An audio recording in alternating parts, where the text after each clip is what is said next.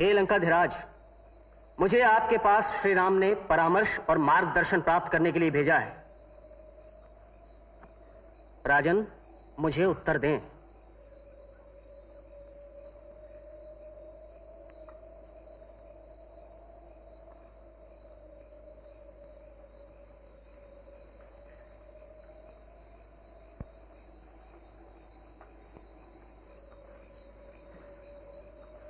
कोई लाभ नहीं है भैया।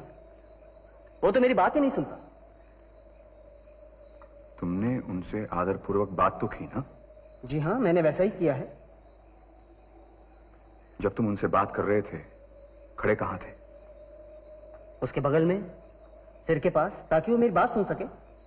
यही तो भूल हुई लक्ष्मण। तुम्हें उनके पैरों के पास खड़ा होना चाहिए था। वैसे ही जैसे एक शिष्य गुरु के पास खड़ा होता है। परंतु भैया वो मेरा गुरु नहीं है। लक्ष्मण, ज्ञान को तिरस्कार मत करो। ज्ञान सदा पवित्र होता है। चलो हम दोनों उनके पास चलते हैं।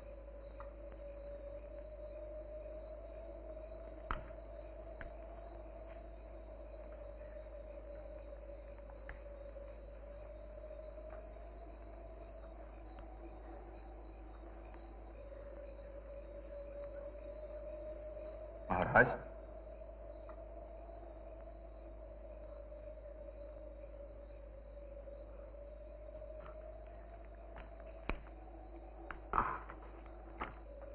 मैं भला आपको क्या मार्गदर्शन दे सकता हूँ?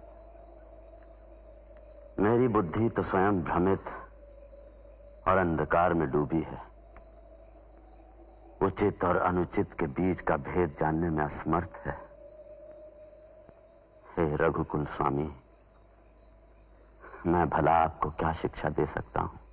महाराज आप मुझसे बड़े हैं अनुभवी भी हैं।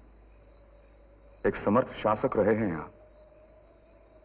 मुझे उचित अनुचित और शासन करने के संबंध में आपके विचार जानने चाहिए।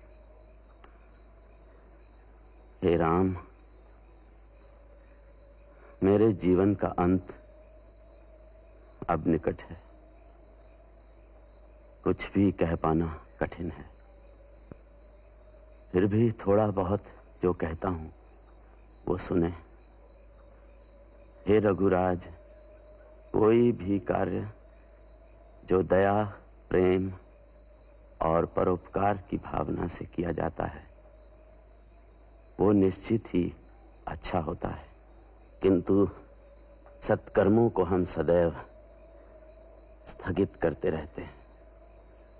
अगर आप कोई सत्कर्म करना चाहते हैं तो उसमें देरी ना करें उसे तुरंत कर डालें। नहीं तो बाद में उसे पूरा करने में कठिनाई होती है। किसी अच्छे काम को टाल दोगे तो वो कभी पूरा नहीं होगा। उचित कहा आपने। हाँ दुष्कर्मों के बारे में तो मैं तुम्हें बहुत सी बातें बता सकता हूँ।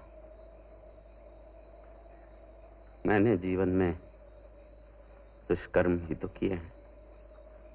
देखो, आज मेरे सभी पुत्र पौत्र मारे जा चुके हैं।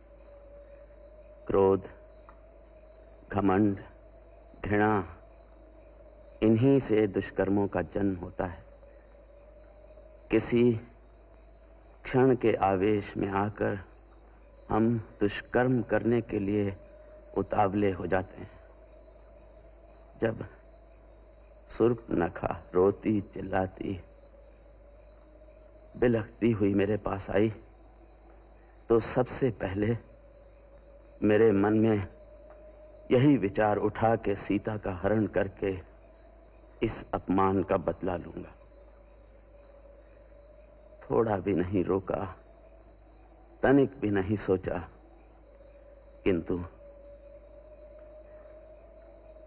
बल्कि जितनी शीघ्रता से हो सका, ये कार्य को पूरा कर डाला। जैसा कि हे रघुवंशियों के स्वामी, जैसा कि दुष्कर्मों की प्रवृत्ति होती है कि वो चिल्ला चिल्ला कर अपने पूरे होने की मांग करते हैं।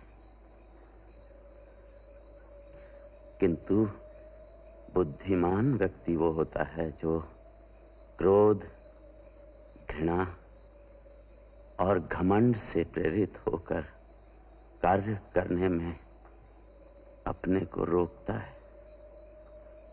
उचित, अनुचित के बारे में मेरा यही ज्ञान है। हे राम इस ज्ञान का तुम सदुपयोग करना। और मेरे अपराधों को क्षमा क्षमा करना।